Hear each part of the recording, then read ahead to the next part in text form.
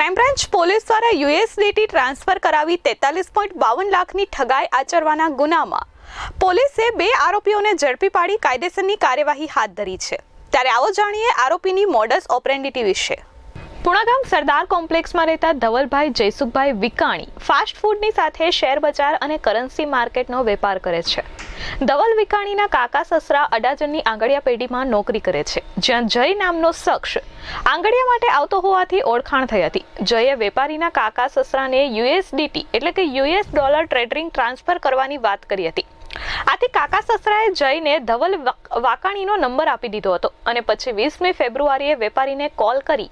ગઠિયાએ પોતાની ઓળખ જય ડોડિયા તરીકે આપી હતી. ધવલ વિકાણીએ પહેલાં તો યુએસડીટી ટ્રાન્સફર કરવાની ના પાડી અને રૂબરૂ આવવા માટે જણાવ્યું હતું. જોકે ગઠિયાએ આંગળિયા પેઢીમાં કામ કરતા કાકા સસરા પહેલાં પાનનો ગલ્લો ચલાવતા હતા. હું સારી રીતે ઓળખું છું તેમ કહી વેપારી સાથે કાકા સસરાની વાત કરાવી હતી. આથી વેપારીએ તેના પર વિશ્વાસ કરી લીધો હતો. યુએસડીટી ટ્રાન્સફર કરતા રૂપિયા રાંદેર ખાતે મળી જવાનું ગઠિયાએ જણાવતા વેપારીએ પચાસ હજાર યુએસડીટી ટ્રાન્સફર કરી દીધા હતા.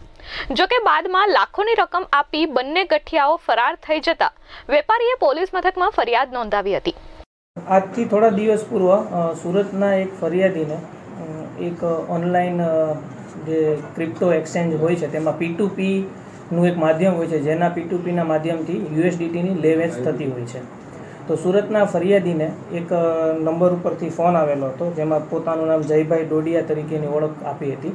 અને તેમને જણાવીને જણાવ્યું હતું કે તેઓને પચાસ હજાર યુએસડીટીની જરૂર છે. અને સુરતના જે ફરિયાદી છે, તેઓ યુએસડીટીની લે વેચનો વ્યવસાય સાથે સંકળાયેલા હતા.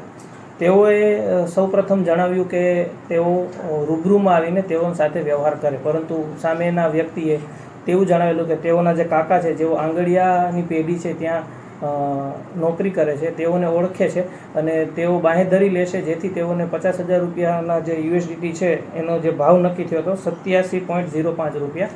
તે ભાવે જો તેઓને યુએસડીટી આપશે, તો તેઓ તેના સ્વરૂપે તેતાલીસ લાખ બાવન હજાર પાંચસો રૂપિયા તેઓને, તેઓના કાકાના મારફત આપી દેશે.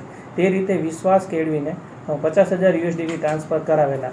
પરંતુ ત્યારબાદ ફોન સ્વિચ ઓફ કરીને તેઓને પોતાના જે તેતાલીસ લાખ બાવન હજાર પાંચસો રૂપિયા છે તે પરત ન આપીને તેઓની સાથે તેતાલીસ પોઈન્ટ બાવન લાખ લેવા માટે વેપારી રાંદેર સોના હોટેલ પાસે ગયો. ત્યારે ગઠિયા મૈદરપુરા ભવાનીવાડ પાસે બોલાવ્યો. જેથી વેપારીએ ત્યાં પહોંચી તેને ફોન કર્યો તો તેને કાકા સસરાની આંગળિયા પેઢી પર હોવાનું જણાવી થોડા કલાકો પછી મોબાઈલ બંધ કરી દીધા હતા. આથી ધવલ વિકાણીએ તેના કાકા સસરાનો કોન્ટેક્ટ કર્યો હતો. કાકા સસરાએ કોલ કરતા સામેથી જયનો મિત્ર રાહુલ ચૌહાણ હોવાનું જણાવ્યું અને યુએસડીટી માટે પોતે જવાબદાર હોવાનું જણાવી. સુરત આવી રૂપિયા આપી જવાનું કહ્યું હતું. જોકે આ સમગ્ર મામલે કૌભાંડ થયું હોવાનું બહાર આવતા તેને ફરિયાદ નોંધાવી હતી, જે ફરિયાદના આધારે પોલીસે ગુનો નોંધી તપાસ હાથ ધરી છે. અનુસંધાને બે વ્યક્તિઓની ધરપકડ કરવામાં આવેલી છે. જે બે વ્યક્તિની વિગત છે એકનું નામ છે હિરેન અશ્વિનભાઈ લિંબાસિયા, જેઓની ઉંમર છવ્વીસ છે, જેઓ સ્ક્રેપના વેપાર સાથે સંકળાયેલા છે અને રાજકોટના રહેવાસી છે તથા બીજા પ્રવીણ કુમાર, શાંતિલાલ થાંકી જેઓની ઉંમર ત્રીસ છે, તેઓ પણ સ્ક્રેપના વેપાર સાથે સંકળાયેલા છે. જેઓને, જેઓ પણ રાજકોટના છે, પરંતુ મૂળ કુતિયાણા પોરબંદરના છે. બંને વ્યક્તિઓની ધરપકડ કરીને આગળની તપાસ હાથ ધરવામાં આવી છે.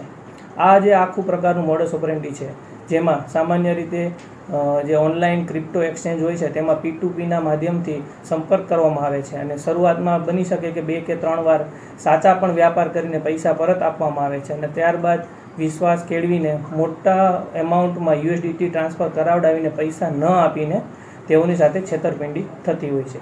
જેથી સમગ્ર સુરતની જનતાને સુરત સિટી સાયબર ક્રાઇમ સેલની એક નમ્ર અપીલ છે કે કોઈ પણ અજાણ્યા વ્યક્તિ સાથે બને ત્યાં સુધી કોઈ પણ પ્રકારનો નાણાકીય વ્યવહાર કરવો નહીં અને વિશ્વાસમાં આવ્યા બાદ અને તેની ખરાઈ કર્યા બાદ જ આ પ્રકારના નાણાકીય વ્યવહારમાં કામગીરી કરવી. Bureau report S twenty four news Surat.